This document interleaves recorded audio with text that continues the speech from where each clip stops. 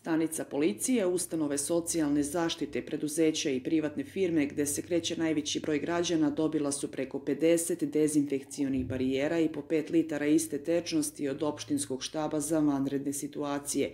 Dez barijera je plitki sud sa sunđerom natopljen sredstvom, čime se sprečava eventualno unošenje koronavirusa obućom građana u prostorije i objekte. Ovo je sada nešto kao ozbiljnije i, i, i, i ovaj, može samo da se doliva i, i tepsije.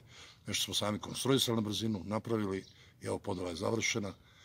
Evo nas ovde ispred komunalnog preduzeća, tu smo završili nekako oni nama hlor, mi njima tepsije sa suđeljima i to je to. Saradnja je odlična, štab radi svakodnevno. Još jednom apelujem, dajte ljudi da izdržamo još ovih par nedelja. Nemojte šetati lepi dani danas. Nemojte šetati, nemojte izlaziti, strpite se, radi svih nas.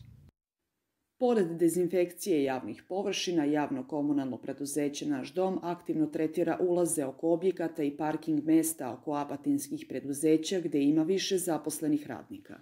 U zahtevu Doma za starije penzionere odradili smo dezinfekciju spoljnih površina ustanove sa, sa dvorištem iste. Danas što ćemo posebno odraditi pažnju je dezinfekcija kompletnog romskog naselja. U komunalnom preduzeću kažu da će i u buduće tretirati sve površine, a besplatno građanima davati sredstvo na bazi natrium hipohlorita ukoliko su ga potrošili.